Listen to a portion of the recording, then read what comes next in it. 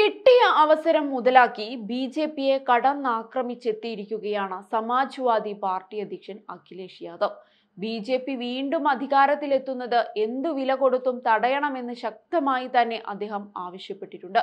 B J P വീണ്ടും അധികാരത്തിലെത്തിയാൽ ജനങ്ങളുടെ വോട്ടവകാശം റദ്ദാക്കുമെന്നും നേതാവ് മുന്നറിയിപ്പ് നൽകി കഴിഞ്ഞു.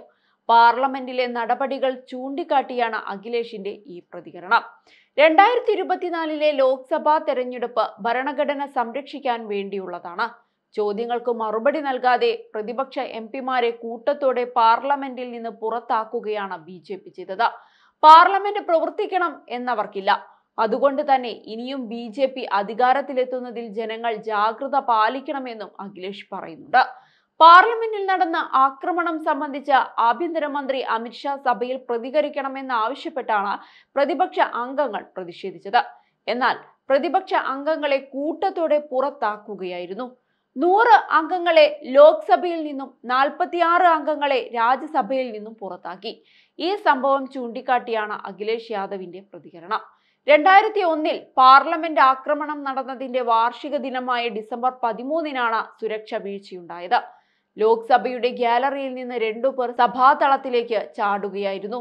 ബി ജെ പി എം പിയിൽ നിന്ന് പാസ് നേടിയാണ് ഇരുവരും പാർലമെന്റിൽ കടന്നത്. സാഗർ ശർമ്മ മനോരഞ്ജൻ ഡി എന്നിവരായിരുന്നു സഭയിലേക്ക് ചാടിയെത്തിയത്. മഞ്ഞപ്പുക പരത്തി ഇരുവരും തൊഴിലില്ലായ്മ ഉൾപ്പെടെയുള്ള വിഷയങ്ങളിൽ മുദ്രാവാക്യം വിളിക്കുകയും ചെയ്തു. ഈ സാഹചര്യം സംബന്ധിച്ച് വിശദീകരണം വേണമെന്നാണ് പ്രതിപക്ഷം ആവശ്യപ്പെട്ടത്. പ്രതിഷേധം ശക്തമായതോടെ പ്രതിപക്ഷാംഗങ്ങളെ സഭയിൽ നിന്ന് പുറത്താക്കി. ലോക്സഭാ തെരഞ്ഞെടുപ്പ് അടുത്തു വരവെയാണ് വിഷയം പ്രതിപക്ഷം ശക്തമായി ഉന്നയിക്കുന്നത്. ബി ജെ പിക്കെതിരെ പ്രതിപക്ഷ പാർട്ടികൾ ചേർന്ന് ഇന്ത്യ സഖ്യം രൂപീകരിച്ച് പ്രവർത്തനം ഏകോപിപ്പിച്ചു വരികയാണ്. സീറ്റ് വിഭജന ചർച്ചയിലാണ് ഇന്ത്യ സഖ്യം. എന്നാൽ എങ്ങനെ സുഗമമായി സീറ്റ് വിഭജനം പൂർത്തിയാക്കുമെന്ന ചോദ്യവും ബാക്കിയാണ്. സീറ്റിന്റെ കാര്യത്തിൽ സഖ്യത്തിൽ ഭിന്നതയുണ്ടെന്ന വാർത്തകളും വന്നിട്ടുണ്ട്. ഇക്കാര്യങ്ങൾ പരിശോധിക്കാൻ കോൺഗ്രസ് പ്രത്യേക സമിതിയെ തന്നെ നിയോഗിച്ചിരുന്നു എന്നതും വ്യക്തമാണ്. അതേസമയം കഴിഞ്ഞ ദിവസം മോദിക്കെതിരെ തുറന്നടിച്ച് രാഹുൽ ഗാന്ധിയും എത്തിയിരുന്നു. ലോക ചാമ്പ്യൻഷിപ്പ് മെഡൽ ജേതാവ് വിനേഷ് ഫോഗട്ട് ഗേൽഡഗ്നയും അർജുന അവാർഡും തിരികെ നൽകിയതിന് പിന്നാലെയാണ് പ്രതികരണവുമായി രാഹുൽ ഗാന്ധി എത്തിയത്. പ്രധാനമന്ത്രിയുടെ ഓഫീസിൽ എത്തുന്നതിൽ നിന്ന് ഡൽഹി പോലീസ് തടഞ്ഞതിനെ തുടർന്ന് വിനേഷ് ഫോഗട്ട് ഈ രണ്ട് അവാർഡുകളും ന്യൂഡൽഹിയിലെ കർത്തവ്യ പാതയുടെ മധ്യത്തിൽ ഉപേക്ഷിക്കുകയായിരുന്നു. ഇതിനാണ് രാഹുൽ മോദിക്ക് മറുപടി നൽകിയത്.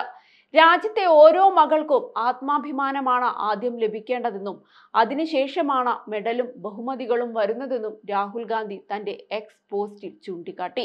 മൂന്ന് ഗുസ്തി താരങ്ങൾ ലൈംഗിക പീഡന ആരോപണങ്ങൾ ഉന്നയിച്ച മുൻ wrestling federation of India president Brijbhushan Sharan സിംഗിനെ പരോക്ഷമായി പരാമർശിച്ചുകൊണ്ടായിരുന്നു രാഹുലിന്റെ ട്വീറ്റ്. ഒരു പ്രഖ്യാപിത ബാഹുബലിക്ക് ലഭിച്ച രാഷ്ട്രീയ നേട്ടങ്ങളുടെ വില ഈ ധീരപുത്രിമാരുടെ കണ്ണീരിനേക്കാൾ വലുതാണോ? പ്രധാനമന്ത്രി രാജ്യത്തിന്റെ കാവൽക്കാരനാണ്. അദ്ദേഹത്തിന്റെ ഭാഗത്തു നിന്നുള്ള ഇത്തരം ക്രൂരത കാണുന്നതിൽ വേദനയുണ്ടെന്നാണ് രാഹുൽ മോദിക്കെതിരെ ട്വീറ്റിലൂടെ തുറന്നടിച്ചത്.